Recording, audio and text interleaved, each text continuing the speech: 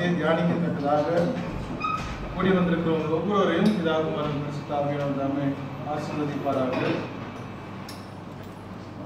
நம்முடைய வேதாம வகுப்பை துவங்கியது நூற்றி நாற்பத்தி இரண்டாவது வகுப்பு. பொருந்தியிருக்கிறதுல முதலாவது நிருபத்தில் நாம் துவங்கியது முப்பதாவது சீரீஸில் நாம் உட்கார்ந்திருக்கிறோம். மொத்தம் பதினாறு அதிகாரங்கள் இதுவரைக்கும் நாம் பார்த்து வருகிற பதினாலாவது அதிகாரம் முப்பத்தி ஐந்து வரைக்கும் நாம் பார்த்திருக்கிறோம். ஒரு சாராம்சமாக ஒவ்வொரு முறையும் இந்த பகுதியை உங்களுக்கு நான் காட்டுவது வழக்கம். இந்த நீதி நீதியான அல்லது இந்த நிருபம் எவ்வளவாக ஒரு கிறிஸ்தவனுக்கு ஒரு கிறிஸ்தவனுக்கு நம்முடைய வாழ்க்கையில தேவையான காரியங்களை ஒரு நீதி புஸ்தகமாக இருக்கிறது என்பதை நாம் உணர வேண்டியது அவசியம். மற்ற புஸ்தகங்களை காட்டிலும் பொருந்து நிருபம் முதலாவது நிருபத்தில் எல்லா பிரச்சனைகளையும் எப்படி சமாளிப்பது அல்லது எது சரி எது தவறு என்று சுட்டிக்காட்டுகிற ஒரு புத்தகமாக நம்முடைய வாழ்க்கைக்கு கிறிஸ்தவ வாழ்க்கைக்கு அது பிரயோஜனமாக இருக்கிறது. இந்த ஒரு நிருபத்தை சரியாக நாம் புரிந்து கொண்டோம் என்று சொன்னால் சரியாக அதை நாம் அபியாசிக்கிறோம் என்று சொன்னால் மிக அதிகமாக நம்முடைய வாழ்க்கையிலே நேர்த்தியாக கடந்து செல்வதற்கு தேவனுக்கு முன்பதாக உத்தமனாய் நம்மை நிறுத்துவதற்கு இந்த புஸ்தகம் மிக பிரயோஜனமாக உள்ளது என்பதை நாம் அறிய வேண்டும். முப்பத்தி ஐந்து வரைக்கும் கடந்த வாரத்தில் நாம் பார்த்தோம். ஒன்று குழந்தையர் பதினான்காவது அதிகாரம் முப்பத்தி ஐந்தை வாசித்து முடித்திருக்கிறோம். முப்பத்தி ஆறாவது வசனம் இந்த நாளிலே தேவ வசனம் உங்களிடத்து இருந்தால் புறப்பட்டது. அது உங்களிடத்துக்கு மாத்திரமா வந்தது என்று சொல்லி இந்த ஒரு வசனத்தை மையமாக இந்த நாளில் நான் எடுக்க பிரியப்படுகிறேன். இந்த முழு அதிகாரமும் பதினாறு அதிகாரங்களை கொண்ட இந்த புஸ்தகத்திலும் பதினான்காவது அதிகாரம் மிக அத்தியாவசியமான ஒரு மையமான ஒரு அதிகாரம் என்பதை தொடக்கத்திலே நான் சொல்லியிருந்தேன். தேவவசனம் உங்களிடத்து இருந்தால் புறப்பட்டது. அது உங்களிடத்திற்கு மாத்திரமா வந்தது என்று சொல்லி உங்களிடத்திற்கு அப்படிங்கறது யாரை குறிக்கிறது? சபையாரை குறிக்கிறது? உங்களிடத்திலிருந்து என்பது சபையை குறிக்கிறது. அதாவது கொருந்து பட்டண பட்டணத்தில் இருக்கிற அந்த கொருந்து சபையை பவுல் அப்போஸ்தலன் கேட்கிறார். இந்த வசனம் தேவனுடைய வசனம் உங்களிடத்திலிருந்தா வந்தது பொருந்து சபையில இருந்தா வந்தது என்று சொல்லி அவர் கேட்கிறார். நம்ம அந்த கேள்விகளை எப்பொழுதும் கேட்கும் பொழுதுதான் மிக அதிகமாக நாம் சத்தியத்தை ஆழமாக புரிந்து கொள்வதற்கு அது பிரயோஜனமாக இருக்கும். காதாலே கேட்பதோடு நாம் நின்று விடாத படித்து அதை ஆராயும் பொழுது அதை வினவும் பொழுது கேள்வி வாயாலே கேள்வி கேட்டு எப்படி யார் எதற்கு எங்கு என்று சொல்லி நாம் அதை ஆராயப்படுவதுதான் கிறிஸ்தவர்களை காட்டிலும் பெரிய பட்டணம் கிறிஸ்தவர்களை காட்டிலும் தெசிலோனிக்கிய பட்டணம் என்று சொல்லி இரண்டு பட்டணத்தாரை நாம் விசேஷமாய் பார்க்க முடியும். கிறிஸ்தவர்கள் அழைக்கப்பட்டார்கள் ஆனால் தெசிலோனிக்கிய பட்டணம் ஆராய்ந்து வந்தது. அவர்களை காட்டிலும் இன்னும் அதிகமாய் பெரிய பட்டணம் ஆராய்ந்தது என்று சொல்லி நாம் பார்க்க முடியும். அப்போ இந்த ஆராயும் பொழுது கேள்வி கேட்பது காதாலே கேட்பதோடு நின்று விடாமல் வாயாலே நாம் அதை கூர்ந்து கவனித்து அதை கேட்கும் பொழுது இன்னும் அதிகமாக நாம் அறிந்து கொள்ள முடியும்.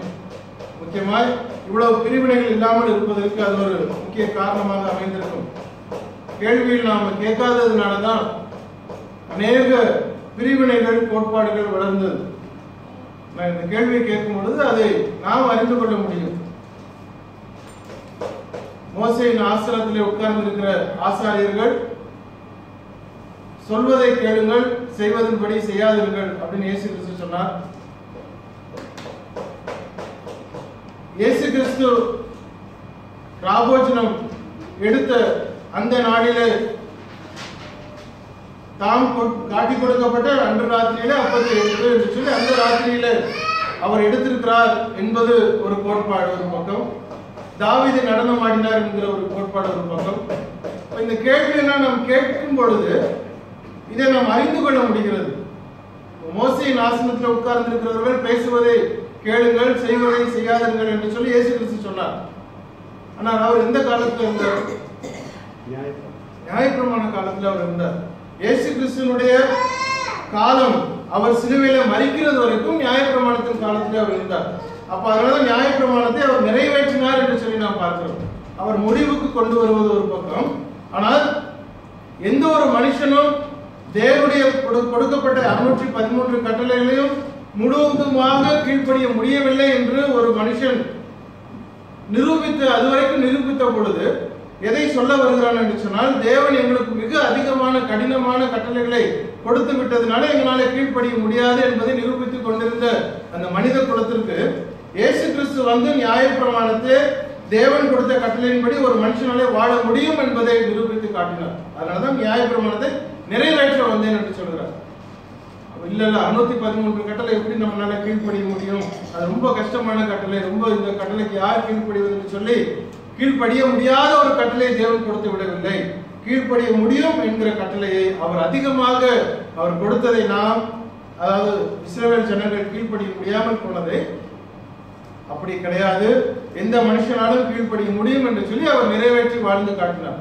அப்போ அவர் அவருடைய அவருடைய மரணம் வரைக்கும் அவருடைய கடைசி அந்த மூச்சு சிலுவையில முடிகிறது வரைக்கும் அவர் வாழ்ந்தது நியாயப்பிரமாணத்தின் காலம். அதனாலதான் சொன்னார் மோசையினுடைய வார்த்தையின்படி நீங்கள் செய்யுங்கள் நடக்கையின்படி நடக்காதிருங்கள் ஆனா இப்போ நாம் இருக்கிறது புதிய ஏற்பாட்டு காலம். பேசுவது தான் நாம் நடக்க வேண்டும் நடக்கிறது தான் நாம் பேச வேண்டும்.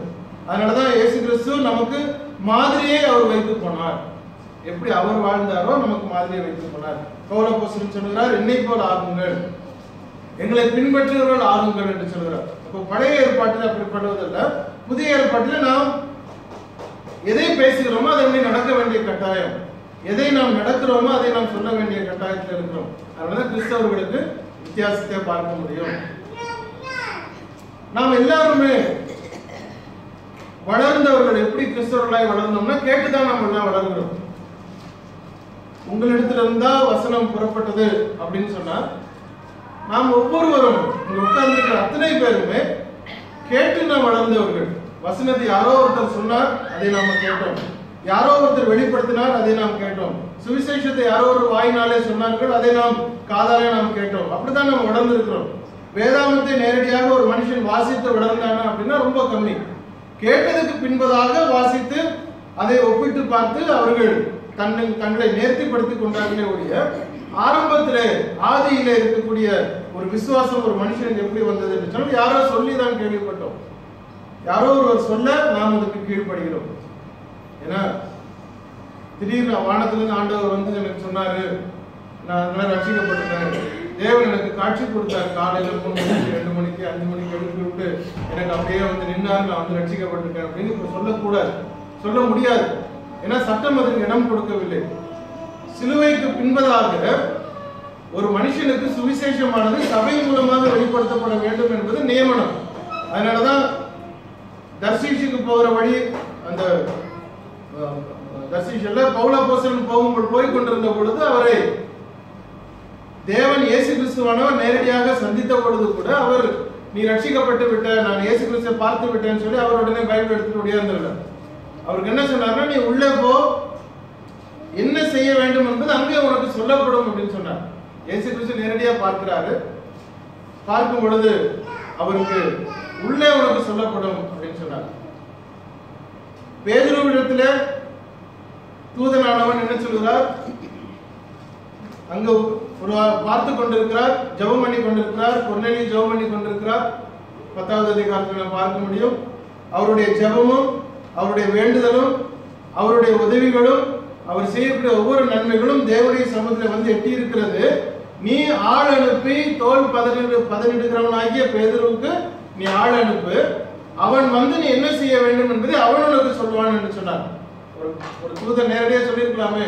நீ போய் தண்ணியில் போய் இந்த எடுத்துக்கோ அல்லது ஞானஸ்நானம் தேவையில்லை நான் உனக்கு அவனுக்கு சொல்லியாச்சு. நீ ரட்சிக்கப்பட்டாச்சு நீ ஊழியத்துக்கு போயிடலாம் அப்படி சொல்லலை. இயேசு கிறிஸ்து நேரடியாக சொன்ன பொழுதும் உள்ளே போ அங்கே இரு ஒரு மனுஷன் வந்து உனக்கு என்ன செய்வான் என்று சொல்லிக் கொடுப்பார்.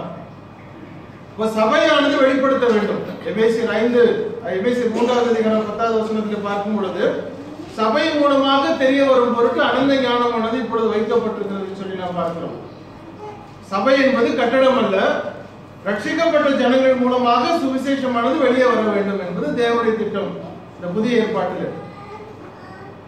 உங்களிடத்தில் இருந்தா புறப்பட்டது என்கிற என்ற அந்த வசனம் கொரிந்து பட்டணத்தில் இருந்து வசனம் முதலாவது நமக்கு வந்து விடவில்லை இயேசு கிறிஸ்துவனிடத்திலிருந்து அப்போஸ்தலர்களுக்கு போனது. அப்போஸ்தலர்கள் அதை எழுதுகிறார்கள். அப்போஸ்தலர்கள் மூலமாக வார்த்தை வெளிப்பட்டு கொண்டிருக்கிறது. இந்த குறைந்த பட்டணத்து கிறிஸ்தவர்களும் அப்போஸ்தலர் மூலமாக கேள்விப்பட்டார்கள். இப்போ வேற ஒரு இடத்திலிருந்து கேள்விப்பட்ட ஒரு சுவிசேஷத்தை வேற ஒரு சொன்ன ஒரு சுவிசேஷத்தை நாம் சொந்தம் கொண்டாட முடியுமா அப்படின்னா நாம் அதுக்கு கீழ்ப்படியை தான் நாம் கடமைப்பட்டிருக்கிறோமே ஒழிய அதை மாற்றிக்கொள்வதற்கு அதை வந்து மெருங்கேற்றுக் கொள்வதற்கு கொஞ்சம் கூட்டுவதற்கு கொஞ்சம் குறைத்துக் கொள்வதற்கு நமக்கு எந்த உரிமையும் அல்ல. ஏனென்றால் அது நம்மிடத்திலிருந்து வந்துவிடவில்லை நீங்க ஒருவேளை புதுசா ஒண்ணு கண்டுபிடிச்சிருக்கிறீங்க அப்படின்னா உங்களுக்கு ஒரு விதியை வச்சு கொள்ளலாம் இது நான் உருவாக்கினது இது இப்படித்தான் அப்படின்னு சொல்லி நீங்க அதுக்கான மேனுவலை எழுத முடியும். ஆனா வேறொருவர் அதை உண்டாக்கின பொழுது அவருக்கு அது முழு உரிமை இருக்கிறது. முழு உரிமை தேவனுடைய வார்த்தை தேவனிடத்திலிருந்து அப்போஸ்தலர் மூலமாக வந்ததுனாலே இவர்கள் அவர்களும் சரி நாமும் சரி நம்மிடத்திலிருந்து தேவவசனம் புறப்படவில்லை. அவர்கள் தேவனுடைய வார்த்தையிலிருந்து நாம் கேட்டிருக்கிறதுனால என்ன வந்திருக்கிறதோ அதை அப்படியே எடுத்துக்கொள்வதுதான் நம்முடைய கடமையை ஒழிய நாம் அதை ஆட் பண்ணுவதற்கு குறைத்துக் கொள்வதற்கு நமக்கு அதிகாரம் இல்லை. என்னன்னு சொன்னால் நம்மிடத்திலிருந்து அது புறப்படவில்லை. அல்லது குறைந்து பட்டணத்திலிருந்து அது புறப்படவில்லை. அது மத சேர்ச் என்று சொல்வதற்கு அல்ல. நம்மை போல அவர்களும் தேவனுடைய வார்த்தை கேட்டவர்கள் தான். நம்மை போல அவர்களும் தேவனுடைய வார்த்தைக்கு கீழ்ப்படிய வேண்டியவர்கள் தானே ஒழிய அவர்கள் தாமாக ஒரு விஷயத்தை புதுப்பித்துக் கொள்வதற்கு அவர்களுக்கு இடம் கொடுக்கப்படவில்லை. ஏன்னா ஒரு தீர்மானம் ஒரு இடத்துல கொடுக்கப்பட்டாயிற்று. அதுபடி நடக்கணும் அவ்வளவுதான். நான் கிறிஸ்தவன் அப்படின்னா கிறிஸ்துவுக்கு கீழ்ப்படிந்து இருக்கணும் முன்னூற்றி எழுபதாவது பிரிவை எடுத்த உடனே ஏன் எதிர் எதிர்கட்சிகள் எல்லாரும் ஆக்ரோஷமா எழுந்தாங்க? அரசாங்கம் அரசாண்டு கொண்டிருக்கிற அரசாங்கமானது நூறு சதவீதத்தினுடைய பிரதிநிதி மக்கள் அல்ல. முப்பத்தி ஐந்து சதவீதமான பிரதிநிதி மக்கள். ஒருவேளை நூறு சதவீதமான பிரதிநிதி மக்களோடு போயிருந்தாலும் ஏற்கனவே சொல்லப்பட்டவைகளை அவர்கள் மாற்றுவதற்கு அவர்களுக்கு அதிகாரம் அல்ல. யாரோ திடீர்னு வந்து எடுத்துட்டு போறதற்கு முடியாது என்பதனாலே அதை எல்லாரும் எதிர்த்தார்கள். அப்போ தேவன் கொடுக்கக்கூடிய ஒரு வசனத்தை அப்போஸ்தலர் மூலமாக வெளிப்படுத்தப்பட்ட ஒரு வசனத்தை மூலாதாரம் அங்கு இருக்கிறது. அந்த மூலாதாரத்தை நாம் சார்ந்திருக்கிறோம் சொன்னால் அதை அப்படியே நாம் எடுத்துக்கொள்ள வேண்டியதுதான் நம்முடைய கடமையை அதை நாம் டைல்யூட் பண்ணுவதற்கு மா- மாற்றுவதற்கு நமக்கு இடமில்லை. இப்ப நம்முடைய பழக்க வழக்கங்களை நம்முடைய பேச்சுகளை நம்முடைய நடக்கைகளை நம்முடைய ஒவ்வொரு செயல்பாடுகளையும் கிறிஸ்தவம் என்று சொல்லிக் கொடுக்கிற ஒவ்வொரு செயல்பாடுகளையும் கேட்டதை வைத்து நாம் கீழ்ப்படிந்து கொண்டிருக்கிறோமா? அல்லது வேதாமத்தை வைத்து கிறிஸ்துவனுடைய சட்டத்தை வைத்து நாம் கீழ்ப்படுத்திக் கொண்டிருக்கிறோமா என்பது நமக்கு அவசியமா இருக்கிறது. ஏன்னா வேதவசனம் நம்மிடத்திலிருந்து புறப்படவில்லை. வேதவசனம் வேதத்திலிருந்து வந்தது. தேவனிடத்திலிருந்து வந்தது. அவருடைய ஜனங்களாகி அப்போஸ்தலரிடத்திலிருந்து வந்தது. அதை ஒப்பிட்டு நாம பார்க்கிறோமா? அப்படிங்கறத அவர் கேட்கிறார். தேவ வசனம் உங்களிடத்திலிருந்து புறப்படவில்லையே. உங்களிடத்துக்கு மாத்திரம் அது வந்து வந்து விடவில்லையே. அதுக்கு ஒரு காப்பி ரைட் இருக்கிறது. ஒரு பாடல் வரிகளை நம்ம மாத்தினாலே வந்து அந்த ஆசிரியர் நமக்கு கேள்வி கேட்க ஒரு உரிமை இருக்கிறது என்பது நமக்கு தெரியும். மேடையில் நீங்க பாடக்கூடாது. அது என்னுடைய பாட்டு அப்படின்னு ஒருத்தர் போய் கேஸ் போட்டார். யாருமே இப்ப பாடுறது இல்ல ஏன்னா அது அவருடைய உரிமை. தேவனுடைய வார்த்தை இப்படித்தான் இருக்கிறது என்று சொன்னால் அதை மாற்றுவதற்கு நமக்கு உரிமை இருக்கான? கிடையாது. ஏன்னா நாம் அதற்கான மூலாதாரம் கிடையாது. இப்போ கிறிஸ்தவர்களாகிய நாம் have you ever examine your practice according to Christ law அப்படின்னு கேட்டோம்னா என்ன சொல்லுவோம்? ஆமான்னு சொல்லுவோம். ஆனா உண்மையா கம்பேர் பண்ணியிருக்கிறோமா அப்படின்னா பெரிய கேள்விக்குறி. வசனத்தை அங்கங்க எடுத்து நம்ம ஆமா ஆமா ஆமா அப்படின்னு சொல்லுவோம். ஆனால் நடைமுறை வசனமா அப்படிங்கறதை நாம கவனிக்க வேண்டிய இடத்துல இருக்கிறோம்.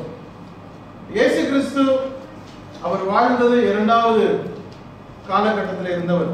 மூன்று காலகட்டங்கள் உண்டு வேதாமத்தில் மூன்று காலங்கள். முற்பிதாக்களின் காலம் மோசையின் காலம் கிறிஸ்துவின் காலம். இயேசு கிறிஸ்துவனுடைய மரணம் வரைக்கும் அவர் வாழ்ந்தது மோசையின் காலத்தில். நாம் வாழ்வது கிறிஸ்துவின் காலத்தில்.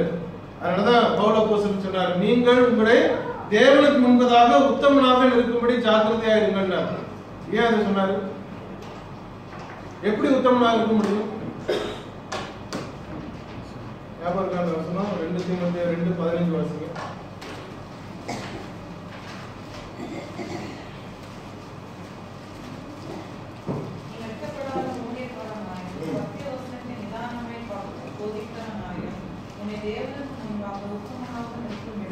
முன்பதாக உத்தமனா எப்ப நாம நிறுத்த முடியுமா? அதை பகுத்து நாம் அறிந்தாலே ஒழிய சரியான காலகட்டத்தை புரிந்து கொண்டாலே ஒழிய நாம் தேவனுக்கு முன்பதாக உத்தமனா நிற்க முடியாது. நம்ம கீழ்ப்படியலாம் ஒன்றும் பிரச்சனை இல்லை. நடந்து கொள்ளலாம் பிரச்சனை இல்லை. எப்படி வேணாலும் செய்யலாம் ஒன்றும் பிரச்சனை இல்லை. ஆனா என்றைக்கு அதனுடைய ஒப்பிட்டு வருகிறதோ ஒப்பீடு பார்க்கப்படுகிறதோ அன்றைக்கு நாம் உத்தமனாக நிற்க முடியாது. அவ்வளவுதான். யாரிடத்திலையும் யார் மூலமாகவும் எப்படி வேணாலும் நாம் செய்தியை கேட்பது நம்முடைய சுதந்திரம். அது வந்து ரொம்ப அறிவார்த்தமா இருக்கலாம். உணர்வு பூர்வமாக இருக்கலாம். நமக்கு பிரியமானதாக இருக்கலாம். பயங்கர அதிகாரத்தோடு இருக்கலாம். எப்பேற்பட்ட ஒரு பாணியில ஒரு செய்தி இருந்தாலும் அவரவர்களுடைய ஒரு திறமை. நாம் வளரும் பொழுது அதை நாம் எதோடு ஒப்பிட்டு பார்க்கிறோம்? தேவனுடைய வார்த்தையோடு ஒப்பிட்டு பார்க்கிறோமா? அல்லது அவங்க அருமையா பேசினாங்க அப்படின்னு கேட்டதோடு நாம் நின்று விடுகிறோமா? தேவ வசனம் உங்களிடத்தில் இருந்தா புறப்பட்டது அப்படிங்கிற அந்த ஆதாரத்தை நாம் ஒரு நாளும் மறந்து விடக்கூடாது வளர வளர. ஒவ்வொரு முறையும் நாம் வளர வளர. நம்முடைய ஆதாரம் எப்படி இருக்கிறது? இதுவரைக்கும் நாம் எப்படி இருக்கிறோம்? அதை பத்தி கவலை இல்லை. தேவன் நியாயம் திருக்கிறவர் அப்படின்னு வேதாமன் சொல்லப்படவில்லை. எப்படி நியாயம் திருக்கிறாரோ நீதியாய் நியாயம் திருக்கிறவர் பிலிப்பியர் மூணு பதினாறு பாத்தீங்கன்னா எது முதல் தெரியிருக்கிறோமோ அதுல இருந்து நாம் இருக்கிறோம் எது முதல் நாம் தெரியும் எது வரைக்கும் நமக்கு எவ்வளவு கொடுக்கப்பட்டிருக்கிறது எவ்வளவு நமக்கு அறிவு அறிந்திருக்கிறோம் எவ்வளவு நாம் அதை புரிந்திருக்கிறோம் அதிலே நாம் எப்படி இருக்கிறோம் ஆனால் வசனத்தை வாசிக்க ஒவ்வொரு முறையும் வளர வளர கேட்கப்பட கேட்கப்பட புரிந்து கொள்ள புரிந்து கொள்ள தேவன் அவர் தன் நம் மீது இருக்கக்கூடிய அந்த கனெக்டிவிட்டியை அவர் கூட்டிக் கொண்டே போகிறார். அதிகம் யாரிடத்திலே கொடுக்கப்படுகிறதோ தேவன் அவனிடத்தில் அதிகம் கேட்கிறார். அதிகமாக யாரிடத்திலே கொடுக்கப்படுகிறதோ அவனிடத்தில் அதிகம் கேட்கிறார். நாம் நிறைய படிக்க ஆரம்பிக்கிறோம்னு சொன்னா நம்மிடத்தில் நிறைய கீழ்ப்படுதலை தேவன் எதிர்பார்க்கிறார். அதிகமான சத்தியங்களை புரிந்து கொள்ள புரிந்து கொள்ள அதிகமான தேவனுடைய வார்த்தையில நாம் கீழ்ப்படிந்திருக்கிறோமா என்பதை அவர் எதிர்பார்க்கிறார். ஆயக்காரனா இருக்கிற வரைக்கும் பிரச்சனை இல்லை இருக்கும் வெளியே நின்று நீங்க மார்பில தட்டிட்டு பாவியாக இனிமேல் திருப்பி அறிந்து போயிடலாம். ஆனால் எப்பொழுது நீங்கள் வேதாந்தை வாசித்து படித்து அறிந்து ஆராய்ந்து நீங்கள் உள்ளே வர ஆரம்பித்திருக்கிறீர்களோ அப்போ கீழ்ப்படுகிற சட்டத்திட்டம் சுயமாக இருக்கிறதா சட்டத்திட்டத்தின் படி இருக்கிறதா என்று சொன்னால் சட்டத்திட்ட திட்ட- திட்டத்தின்படி இல்லாத பட்சத்தில் பரிசெயனாக நாம் மாறிவிடுகிறோம். அல்லது அறியாமல் உள்ள காலங்களே தேவன் காணாத ஒரு கோடு இருந்தார் என்று சொல்லி அப்போ சிலர் பதினேழு முப்பதுல நாம் பார்க்க முடியும். அறிவுபூர்வமான செய்தியோ உணர்வு பூர்வமான செய்தியோ மன ரம்யமான செய்தியோ ஓங்கி அடிக்கிற பிரசங்கமோ நம்ம சைனா விளம்பரத்தை பார்த்து பொருள் வாங்கிட்டு வீட்டுல போய் ரெண்டு மாசத்துல வீணா போறது மாதிரி இருந்துடாம குவாலிட்டியாக நாம் அதை பார்க்க வேண்டும். தேவனுடைய வார்த்தையை ஒப்பிட்டு பார்க்கும் பொழுது நாம் அதை அறிந்து கொள்ள முடியும். ஒவ்வொரு முறையும் நாம் காதால கேட்கும் பொழுது சுவிசேஷம் நமக்குள்ளே வருகிறது. அநேக தேவ மனிதர்கள் நமக்கு அதை பேசுகிறார்கள் எடுத்து சொல்கிறார்கள் அநேகர் அதை முயற்சிக்கிறார்கள் அநேகர் அதை நாம் சத்தியத்தை நாம் கேட்டு நம்முடைய விசுவாசம் வளருவதற்கு அது பிரயோஜனமா இருக்கிறது. ஆனால் நம்முடைய நம்முடைய வேலை என்னவா இருக்கிறது? நாம் அப்படியே கேட்டுட்டு நம்ம அப்படியே போறோம்னு சொன்னா எல்லா நேரத்திலையும் அது சரியாக இருக்குமா அப்படின்னா எல்லாவற்றையும் நாம் சோதித்து அறிய வேண்டிய இடத்துல நாம் இருக்கிறோம். சரியாக போதிக்கிறவர்கள் தேவனுடைய வார்த்தையை திட்டமாக பகுத்து போதிக்கிறவர்கள் நிச்சயமாய் பௌலப்போசன் சொன்னது போல தைரியமாக சொல்ல முடியும். அல்லது ஒரு மேனேஜ்மெண்ட் சொல்லுவாங்க when you open all the fist you cannot sell அப்படின்னுவாங்க. அதாவது உங்க கை மூடி இருக்கிற வரைக்கும் தான் உங்களுடைய பேச்சு எடுப்படும் அப்படின்னு சொல்லுவாங்க. உள்ளுக்குள்ள நீங்க வந்து நான் வயிறு வச்சிருக்கேன்னு சொல்லிக்கலாம் உள்ளுக்குள்ள ஒரு க- தோடு வச்சிருக்கேன்னு சொல்லலாம் நான் இதை மறைச்சு வச்சிருக்கேன் சாதி உள்ள இருக்குன்னு சொல்லலாம் என்ன வேணாலும் சொல்லலாம் நீங்க நம்புவாங்க. என்ன மூடி இருக்கு கை? நீங்க எல்லாத்தையும் திறந்துட்டீங்கன்னா உள்ள ஒண்ணும் இல்லைங்கிறத காட்டுறோம். ஒரு ஊழியக்காரன் மூடி வச்சுக்கிட்டு அமைதியா இருந்து எனக்கு தேவன் என்னத்தை வெளிப்படுத்தினாரு நான் சொல்லிடுவேன் காட்டிடுவேன் பிடிச்சு கொடுத்துருவேன் அப்படின்னு மிரட்டுறதுக்கு நல்ல ஊழியக்காரன். எல்லாவற்றையும் நான் சொல்லியிருக்கிறேன். உங்கள் ரத்தப்படிக்கு நான் காரணமான அல்ல. என்ன சொல்லணுமோ எல்லாவற்றையும் சொல்லியிருக்கிறேன் என்ற தைரியமாய் சொல்லக்கூடியவன். பவுல் அப்போஸ்தலன் சொன்னார். அப்போஸ்தலர் இருபது இருபத்தி ஏழு பாருங்க.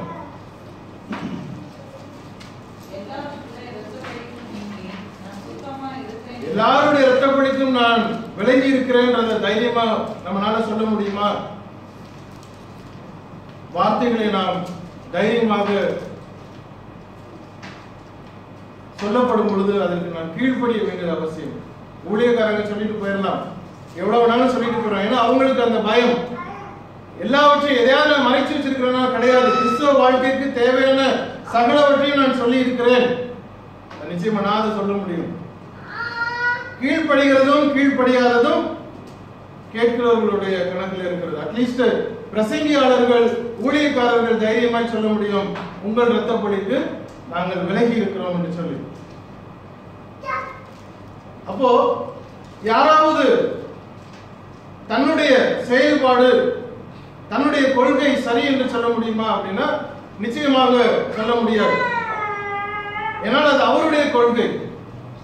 அவர் சரியானவரா அல்லது வேஷம் போடுகிறாரா பேசுகிறது மாத்திரம் சரியா இருக்கு நடக்கிறதெல்லாம் தப்பா இருக்கலாம் வெளி ஆட்களுக்கு அவர் நல்லவராக இருக்கலாம் அவருடைய கோட்பாடு ஒருவேளை மறைமுகமாக இருக்கலாம். மனுஷன் ஒருபொழுதும் தன்னை நீதியானவன் சரியானவன் தன்னுடைய பாதை சரி என்று சொல்ல முடியாது. ஆனால் நிச்சயமாக கட்டாயமாக தேவனுடைய வார்த்தை அந்த கொள்கையில் இருக்கிறவன் அதை சேலஞ்ச் பண்ணி சொல்ல முடியும். எந்த கொள்கையை நான் பின்பற்றுகிறேனோ அது நீதியானது என்று சொல்ல முடியும். அதனாலதான் ஒவ்வொரு முறையும் செய்தியை கேட்கும் பொழுது நாம் தேவனுடைய வார்த்தையை ஒப்பிட்டு பார்க்கிறோம். வசனத்தை எடுத்து ஒப்பிட்டு பார்க்கிறோம். வசனம் இருக்குதா அப்படின்னு ஆமா கரெக்டா தான் இருக்கு. அப்படி இல்லை. காலத்தை எந்த காலத்துல சொல்லப்பட்டது எப்பொழுது சொல்லப்பட்டது யார் சொன்னார் யாருக்கு சொன்னாங்க அதெல்லாம் கம்பேர் பண்ணி பார்க்கும் பொழுது உங்களுக்கு நடைமுறையில் இருக்கிறோமா என்பதை சொல்ல முடிகிறது. Korean congregation took liberty in adding of lots of customs உங்களிடத்துல இருந்தா புறப்பட்டது அப்படின்னு கேட்டதுக்கு காரணம் என்ன? அநேக கொள்கைகளை அவர்கள் சேர்த்துக் கொண்டார்கள். ஏகப்பட்ட கொள்கைகளை அவர் சேர்த்துக் கொண்டார்கள். ஒன்றாவது அதிகாரத்திலிருந்து நாம பார்க்கும் பொழுது பிரிவினை அங்கு இருக்கிறது. அதற்கு பின்பதாக ஒழுக்கக்கேடான பிரச்சனைகள் அங்கு இருக்கிறது. வாழ்க்கை முறையிலே பிரச்சனைகள் இருக்கிறது. திருமணத்தை குறித்த காரியங்களிலே பிரச்சனைகள் இருக்கிறது. ஆகாரத்தை குறித்த காரியங்களிலே பிரச்சனை இருக்கிறது. ஆராதனைக்கு உரிய காரியங்களிலே பிரச்சனை இருக்கிறது. வரங்களை பெற்றுக்கொண்ட காரியங்களை உபயோகப்படுத்துவதிலே பிரச்சனை இருக்கிறது. உபதேசத்துக்குரிய காரியங்களிலே பிரச்சனை இருக்கிறது. எல்லா வகைகளிலும் அவர்கள் தங்களுக்கு ஏற்றார் போல சபைக்கு என்ன பிரியமா இருக்கிறதோ சபையாருக்கு என்ன பிரியமா இருக்கிறதோ அல்லது நடத்துகிறவர்களுக்கு என்ன பிரியமா இருக்கிறதோ அவரவர்களுக்கு எது நன்மையா இருக்கிறதோ அதெல்லாம் அவங்க அப்படியே சேர்த்து சேர்த்து சேர்த்து ஒரு கம் பேக் அப்படின்னு சொல்லுவாங்க இல்லையா? அப்படி ஒரு சபையாக உருவெடுத்தது. அப்பதான் சொல்றாரு உங்களிடத்துக்கு மாத்திரமா வந்தது.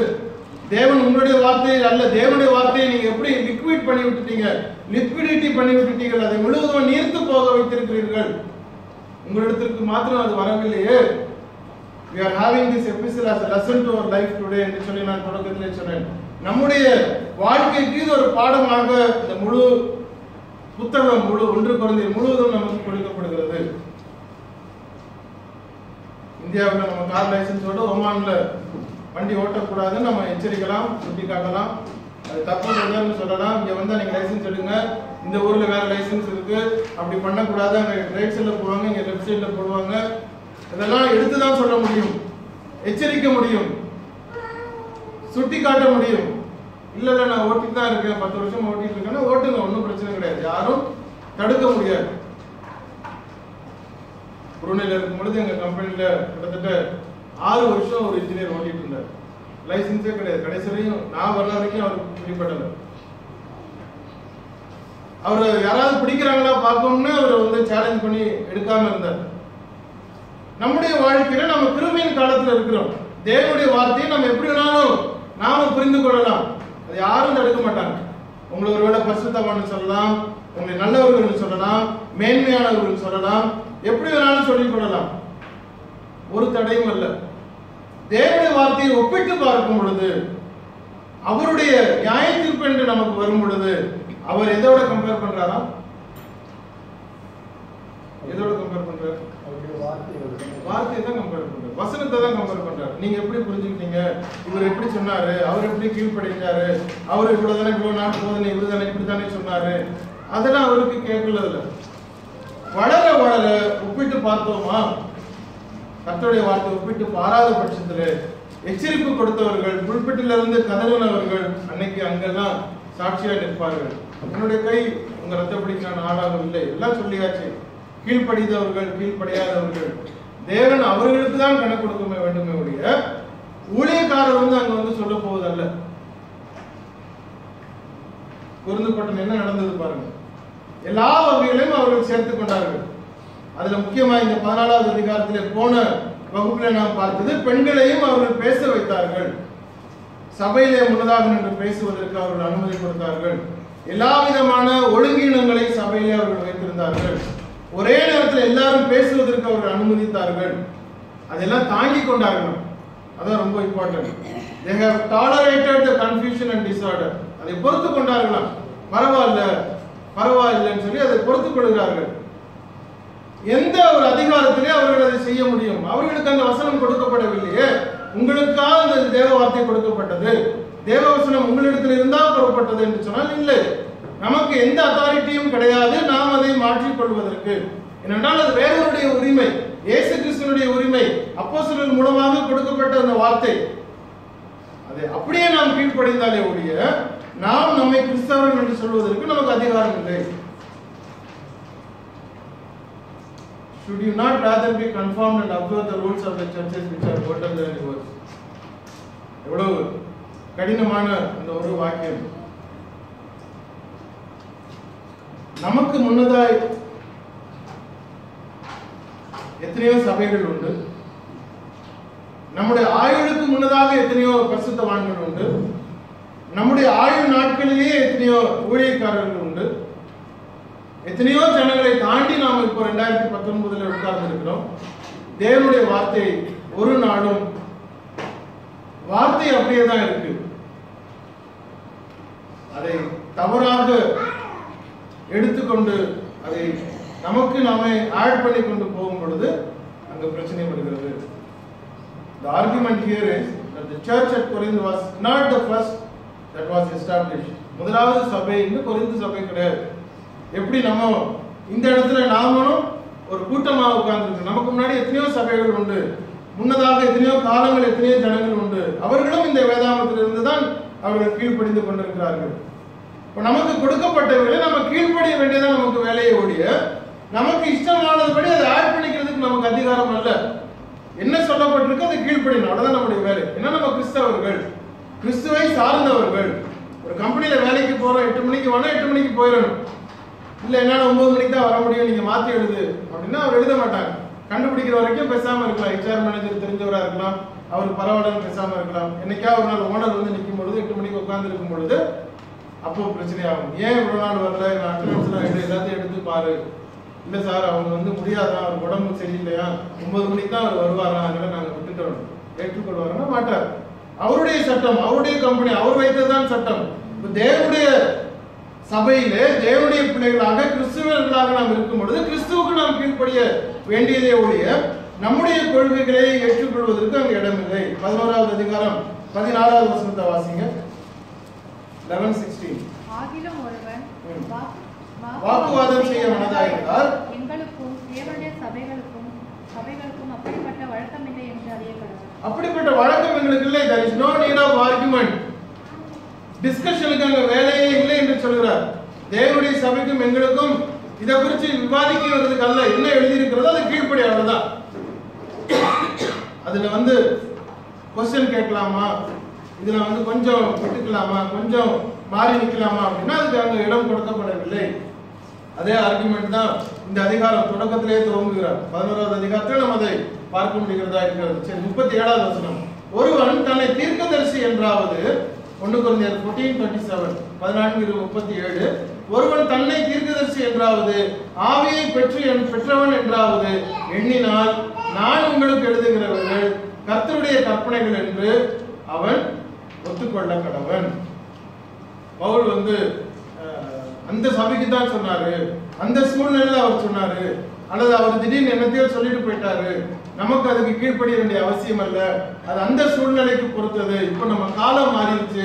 ரெண்டாயிரம் வருஷம் தாண்டிட்டோம். அதனால நம்ம காலகட்டத்துக்கு தக்கன தேவன் புரிந்து கொள்வாரு அப்படின்னு சொல்லி நாம் ஏற்றுக்கொள்வதற்கு இடமில்லை.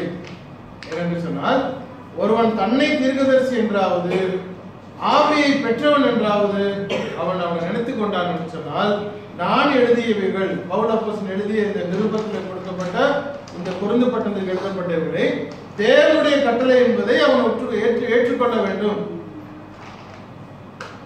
கலாத்தியர் ஐந்து பதினெட்டு நான் ஞாபகம் வந்ததுனால அதை எழுதி வச்சிருக்கிறேன் ஆவியானவரையும் ஆவிக்குரியவர்கள் என்று சொல்லுகிறவர்கள் பழைய ஏற்பாட்டை கடைபிடிக்க முடியுமா?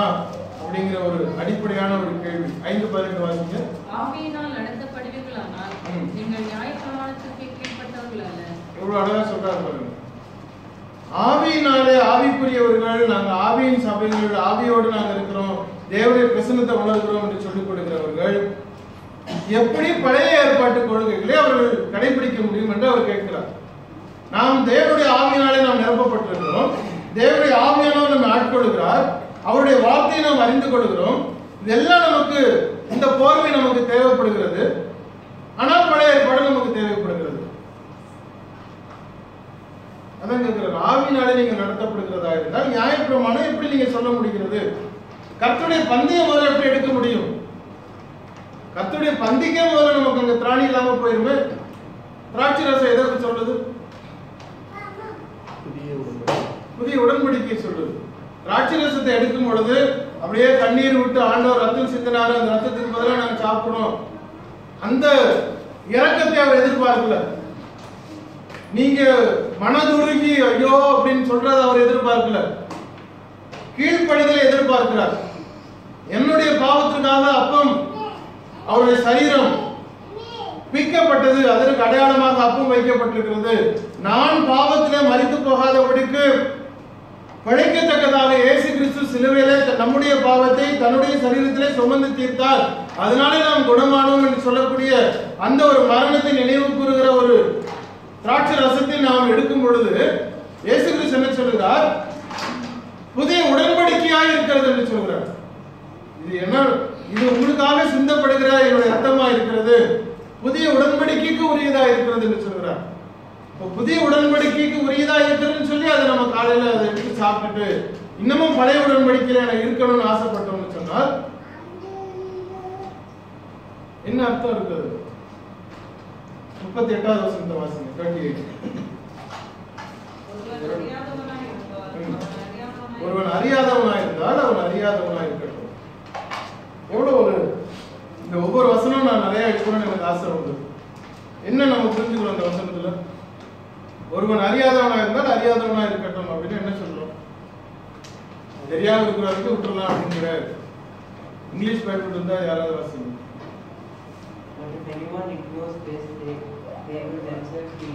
என்னவா அறியாதவனுக்கு என்ன பா- வார்த்தை போட்டிருக்கு No.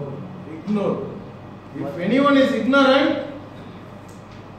let him be ignored. அறியாதவன்ற வார்த்தை அல்ல அதுல உதாசீனமானவனாக ஒருவன் இருக்கிறான் என்று சொன்னால் சொல்லப்பட்டது இவ்வளவு சொல்லியும் அதெல்லாம் வேணாம் பிரதர் எங்களுக்கு ஒருவன் உதாசீனமானவனாக இருந்தால் அவன் உதாசீனப்படுத்தப்பட்டவனாக இருக்கட்டும்.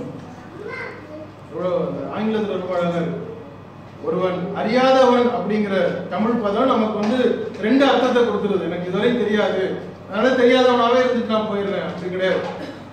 ஒருவன் சொல்லப்பட்டும் வேண்டாம் என்று சொல்லி உதாசீனப்படுத்துகிறவன் இக்னோரன்ட் என்று சொல்கிறது உதாசீனப்படுத்துகிறவனாக அவன் இருக்கிறான்னு சொன்னால் அவன் அப்படியே இருக்கிறங்கன்னு சொல்றாரு. அவன் அப்படியே இருக்கட்டும். உதாசீனப்படுத்தப்பட்டவனாகவே அவன் இருக்கட்டும் என்று சொல்கிறார். முப்பத்தி ஒன்பது வாசிங்க. இப்படி இருக்க சகோதரரே தீர்க்கதரிசனம் சொல்ல நாடுங்கள். அந்நிய பாஷைகளை பேசுகிறதற்கும் தடை தீர்க்க தரிசனம் சொல்வது நாடுங்கள் அந்நிய பாஷைகளை பேசுகிறதற்கும் தடை பண்ணாதீர்கள் என்று சொல்கிறார். அப்போ என்னன்னா பவுல் சொல்லிட்டாரு சபையில வந்து பேசக்கூடாதுன்னு சொல்லிட்டாரு இனிமேல் யாரும் அந்நிய பாஷையில் யாரும் பேசக்கூடாது அப்படிங்கிற அந்த அர்த்தத்தில் அவர் சொல்லிவிடவில்லை.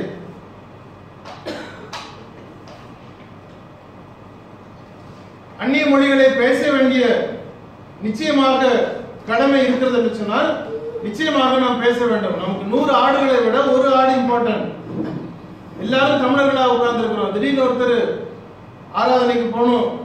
கிறிஸ்தவங்க அதனால நான் வந்துட்டேன் அப்படின்னு ஒருத்தர் உள்ள உட்கார்ந்துருக்கிறாரு. அவர் அன்னைக்கு எதை கேட்க போறார்? தமிழ் வார்த்தை கேட்க போவாரா? கிடையாது. அவருக்காகவாது அன்னைக்கு அவருடைய லாங்குவேஜில் அன்னைக்கு நாம ஒரு ஆங்கிலக்காரர் உட்கார்ந்துருக்கிறாரு அல்லது ஒரு மலையாளம் உட்கார்ந்துருக்கிறாருன்னா அவருக்காக நம்ம இடையில முக்கியமான வார்த்தைகளை அவருடைய மொழிகளை பேசுகிறது நமக்கு நிச்சயமாக அவருடைய அந்த ஆத்மாவுக்கு அது பிரயோஜனமா இருக்கிறது அந்நிய மொழிகளை பேசக்கூடாது அந்நிய பாஷை பேசக்கூடாதுன்னு பவுல் சொல்லிட்டாரு. அதனால இனிமேல் சபைகளை யாரும் எதுவும் பேசக்கூடாதுன்னு அல்ல அதை சொல்லவில்லை.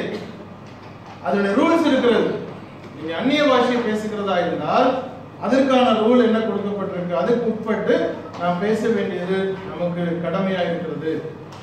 சகோதரரே தீர்க்க தரிசனம் சொல்ல நாடுங்கள். தேவனுடைய வார்த்தையை பேசுவதற்கு நம் ஒவ்வொருவருக்கும் கடமை கொடுக்கப்பட்டிருக்கிறது. அந்நிய மொழிகளை பேசுகிறதற்கும் தடை பண்ணாதிருங்கள். நாற்பதாவது வசனம், கடைசி வசனம். சகலமும் இரமமாயும் செய்யப்பட. எதை செய்தாலும் நம்ம பதினாலாவது அதிகாரம் சபையை குறித்து நாம் பார்க்கிறோம். சபையின் காரியங்களை குறித்து பார்க்கிறோம். ஆராதனை ஒழுங்குமுறைகளை குறித்து பார்க்கிறோம். ஜனங்கள் எப்படி நடக்க வேண்டும் என்று சொல்லி பார்க்கிறோம். கர்த்தருடைய பந்தி எப்படி இருக்கிறது என்று சொல்லி பார்க்கிறோம். ஆராதனை எப்படி இருக்கிறது என்று சொல்லி பார்க்கிறோம். வாழ்க்கையினுடைய நெறிமுறைகள் எப்படி இருக்கிறது என்று சொல்லி பார்க்கிறோம். பெண்களின் காரியங்களை குறித்து எப்படி இருக்கு என்று சொல்லி பார்த்தோம். இதுவரைக்கும் படித்ததான இத்தனை காரியங்கள்? முதல் நான்கு அதிகாரங்களிலே பிரிவினைகள் அதுல இருந்து வரக்கூடிய பிரச்சனைகள் அதுல நம்ம பார்த்திருக்கிறோம். ஐந்து ஆறு அதிகாரங்கள் ஒழுக்கக்கேடு அதிலிருந்து வரக்கூடிய பிரச்சனைகளை பார்த்திருக்கிறோம்.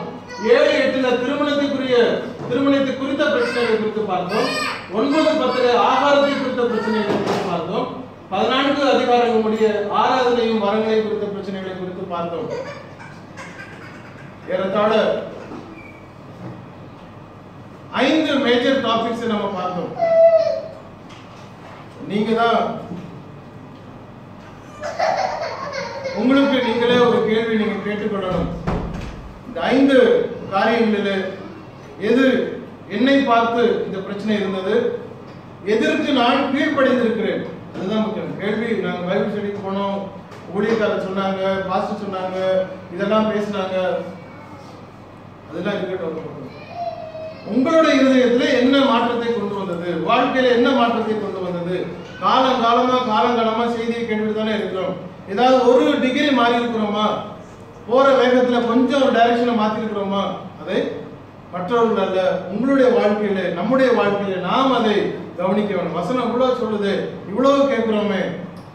வாழ்க்கை குறித்து கேட்கிறோம். ஆராதனை குறித்து கேட்கிறோம். செய்தியை ஒவ்வொரு மரத்தையும் கேட்கிறோம். ஒவ்வொரு முறையும் நாம கேட்கும் பொழுது நம்முடைய வாழ்க்கையில எதை நாம் மாற்றணும் இந்த காதலை கேட்டு அப்படியே போயிட்டு நல்லா இருந்துச்சு. பழைய செருப்பு மாட்டிட்டு பழைய வீட்டுக்குள்ள போய் உட்காந்து பழைய பிரச்சனை நம்ம உட்காந்துருக்கோம் கிறிஸ்தவர்களா இருக்கும் பொழுது வளர்ச்சி வேணும். இல்லைன்னா சூங்கி போயிடும். தேவன் தாமே இந்த வார்த்தையில ஆசீர்வதிப்பார்